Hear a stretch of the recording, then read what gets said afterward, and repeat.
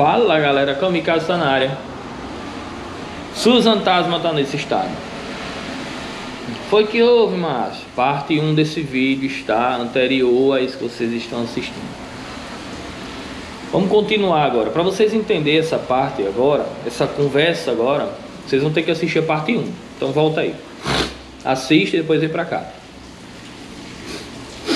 Continuando. Parado na reta Tabajara, sem luz, sem porra nenhuma, moto sem dar partida, travada, sem internet, etc. Lá vem a PM. De longe, quando eu vi a giroflex, eu sei PRF. Agora azedou.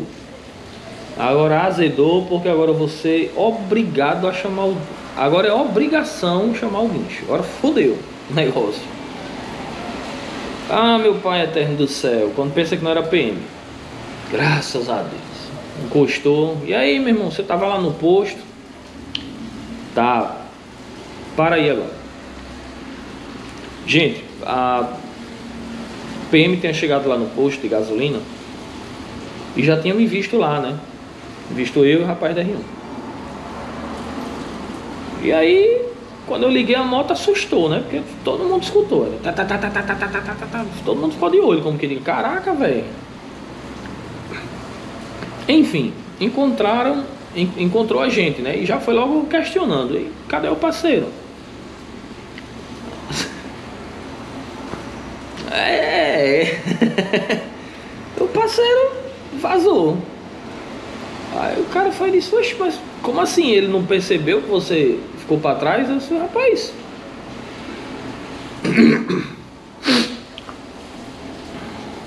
Percebeu. Aí gerou uma discussão assim, porque os policiais ficaram naquela, né? Que coisa estranha. Tá com cara. Percebe que o cara não está mais atrás dele e não volta para ajudar. Então assim, isso pra mim até que ficou um pouco embaraçado, né? Porque a polícia ficou meio que intrigada assim com, com o comportamento. Claro, tá. Isso aí não, não se tira razão não. Se tira razão não. Então eu vou explicar uma coisa para vocês antes de continuar o vídeo. Gente, quem tiver parceiro aí, quem se julga motociclista, eu sou motociclista, não sei, quem se julga, nunca deixe o rapaz só, de lado. Nunca faça isso, gente. É sério. Não é nem por nada assim de mecânica, de, de ajudar, de rebocar, de. Sei lá, de fazer trabalho duro, pesado. Não é nem por isso, não, pô. É porque numa situação dessa de polícia já gera uma desconfiança. A polícia chega no canto. Cadê o, o amigo? O cara foi embora. E que amigo é esse? Aí já gera um. Conheceu aonde? Quem é? Não sei quem. Aí. Ai, doido. E tá certo, o trabalho policial é esse. Os caras estão ali também arriscando a vida, pô. Entendeu? Então é, a gente tem que entender que a polícia tem que perguntar as coisas, a polícia tem que saber das coisas, tem que entender as coisas. Não é, ah, sou policial, sou bonzinho. Não, não, não é assim, cara. Enquanto tem um bonzinho, tem outro ali que tá na, na malícia. Já imaginou, cara, na guarnição, encontra um parado. Sim, tudo bem, escutaram o barulho da moto e tal, então. Mas encontra um parado e outro, cadê? Então, assim, isso à noite, uma rede esquisita. Complicado, cara. Entendeu? Então, assim, passando esse lado aí, gerou as perguntas, os questionamentos, eu até entendo e tal. Enfim. É, como é que faz? Guincho? Eu fui bem sincero, né? Eu não tenho condição agora para fazer isso. Nisso, o rapaz ligou para mim, o da R1, né? E aí, como é que tá? Tô, tô bem e tal. Rapaz, eu, não, eu já tô em casa, não sei o que e tal, preciso de guincho. Rapaz, quanto? Passou o contato, para resumir a conversa, 300 pau da onde a gente tava. Isso ainda não dá pra mim. Ainda não rola. Aí fiquei naquele, e agora? O que é que eu vou fazer? Porra, a polícia. Mano, tenho muito a agradecer a polícia militar, velho. Tenho o que falar, não. Os caras ficaram lá. O tempo que eu fiquei lá, os caras ficaram lá. E não foi só isso não. Eu sei que tem muita gente que vai dizer, sim, é, a polícia tem que fazer isso. Não é isso.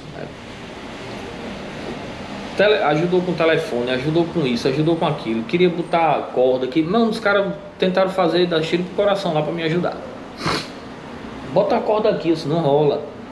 Os caras é mesmo, porra, e agora não sei o que. Vamos, vamos empurrar, está travado o motor, vamos fazer isso. Cara, os caras ajudaram. Os caras ajudaram. Eu acho que o papel de polícia chega, fica num, num canto. Eles, eles já fizeram demais, sabe? Demais, dá conta. Coisa que se fosse outra guarnição aí, a galera trabalhando com raiva, a galera ia dizer, oh, tá bom, espera aí alguém chegar, eu vou ficar com você aqui, pronto, foda-se. Mas não, cara, os caras tentaram fazer, botaram até a mão na massa, velho. Ligaram para outra guarnição.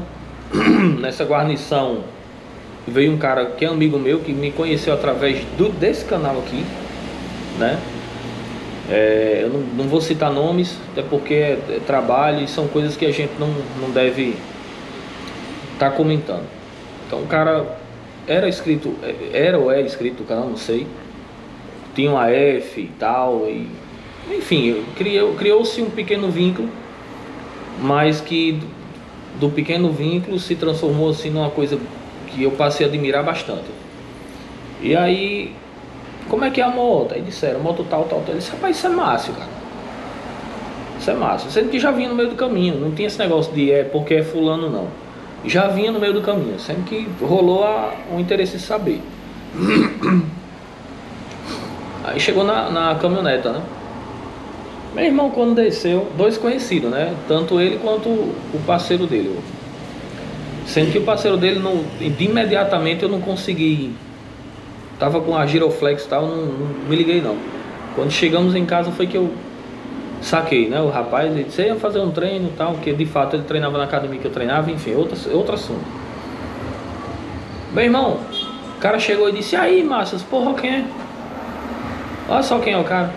Enfim, roda travada, os, os caras botaram a mão na massa, o PM botou a mão na massa, velho. Não é função dos caras. Não é função dos caras não, entendeu? Botou a mão na massa, não podia sair de roteiro, mas aí foi explicado, tá? Enfim, teve um fizeram coisas que não não, não, tinha, não era pra não era da alçada deles fazer. Bom, para resumir é isso. Gente, a gente colocou a moto em cima do carro, não tinha corda para amarrar, ela veio em cima segurando a moto. Esse meu amigo, ele no carro não se tem noção, né? Então qualquer curva que faz, qualquer balançadozinho, pro carro é normal, mas quem tá em cima, velho, eu fiz força para segurar essa moto. Quando o bicho rolava para direita, a moto vinha para esquerda, eu meu irmão fudeu, lascou, vai cair, vai. Eu só pensava em cair, porque a tampa aberta e não tinha corda. Era eu a roda travada, traseira, eu segurando no dianteiro e as pernas abertas, né? Mas tinha hora que quando a bicha dava uma balançada aqui, meu irmão, era complicado. Vai cair. Vai que não tem força para segurar isso não. E não é nem a questão da força em si.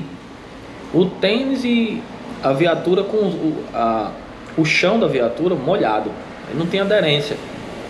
Só vocês vendo a agonia. Aí peguei chuva, meu tome água na cara e eu em cima, a caminhonete tomando, tá, tá, tá, e o bicho pisando, fudeu, vai dar merda.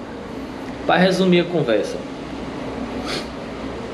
conseguimos chegar, botamos a moto pra cá, e aí, tá aqui a saga do Isredão. Pois é, gente, então não foi é, de giro, não foi falta de óleo, eu troquei esse óleo no mesmo dia da viagem. No mesmo perdi o óleo, tá aqui, o óleo pretíssimo, pretíssimo. Não é porque botou óleo de baixa qualidade. Gente, eu, eu uso Motul semi-sintético. Perdi o óleo todinho, cara. Tá aqui, ó. O óleo tá preto, cheio de limalha. Aproveita! Não, mano, não dá pra aproveitar esse óleo mais. Acabou. Tem limalha no óleo. Peneira! Velho. Acabou o óleo. Acabou o óleo. Esse óleo aqui que vocês estão vendo aqui agora, preto desse jeito. Esse óleo ele só tem cento e alguns quilômetros. Du 200 quilômetros. Pronto, vamos arredondar, né? 200 e 200 quilômetros. Eu acho que dá aí, cento e Não, dá mais. Tem uns. Tem uns 300 por aí. Uns 300 quilômetros esse óleo. É porque rodou aqui também, antes de ir pra lá e tal. Você teve rolê aí, somando tudo. ah, eu zerei o odômetro, depois eu vou olhar. Então, esse óleo é novo, sendo que já tá com limalho, já tá. Não adianta. Então assim, teve esses, esses gastos aí. Não foi por causa de falta de lubrificação, não foi por causa de nível de óleo. Tudo no nível, tudo direitinho, tudo de boa. Arrefecimento também tá aqui. Arrefecimento tá aqui, o paraflu, tá tudo misturadozinho, tudo direitinho. Vai ter que ser arriado. Já já eu vou arriar isso aí. Vocês vão ver nos vídeos. É, então assim, não foi problema de, de ignição, não foi problema de vela ruim, sabe? O que eu estou suspeitando aqui, que eu só vou poder informar para vocês, é quando eu desmontar. É quando eu desmontar é que eu vou ter mais ou menos o um norte. Ontem à noite, eu cutucando aqui, eu não gosto de fazer nada às pressas, aprendi que meu amigo atola o pé. Eu cutucando aqui, fui olhar direito essa embreagem, eu vi que ela tá...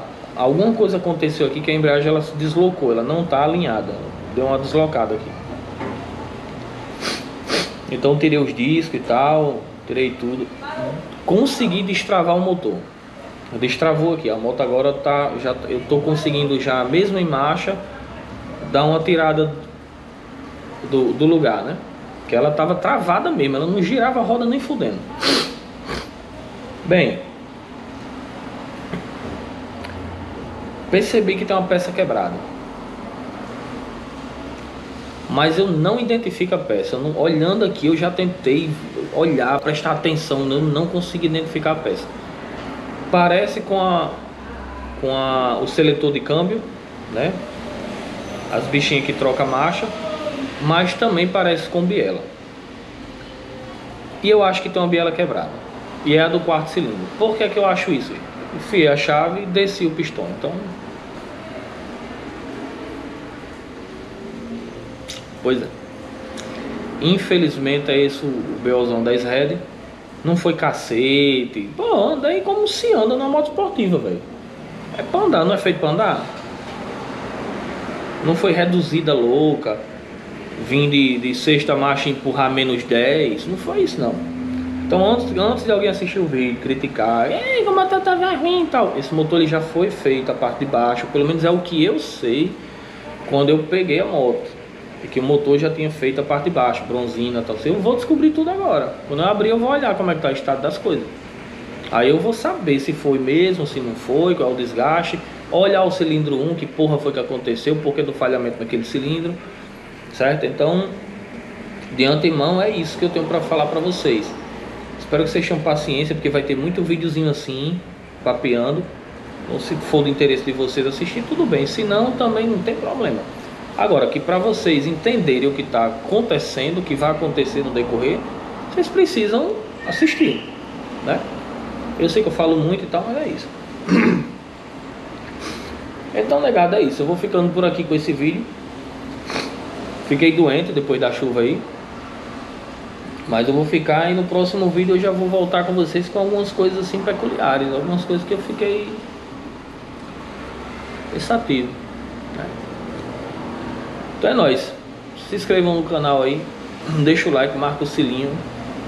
E quem quiser, gente, ver Red de volta de forma mais rápida, o Pix está embaixo, viu? É o número do telefone.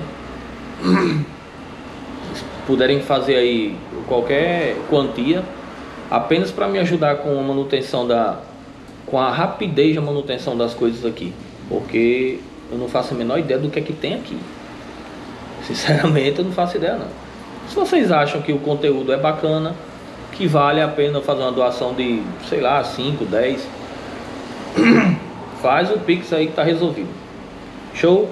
É, o cara tá pedindo dinheiro. Não, gente. Então, já ajudei muita gente nesse canal. Vocês não acham justo? então é nóis, gente. Tamo junto. Eu fui. Susan Tasma. Por enquanto tá no hospital e vai pra cirurgia. Já já ela volta de novo para fazer a alegria do pessoal aí. Fechou?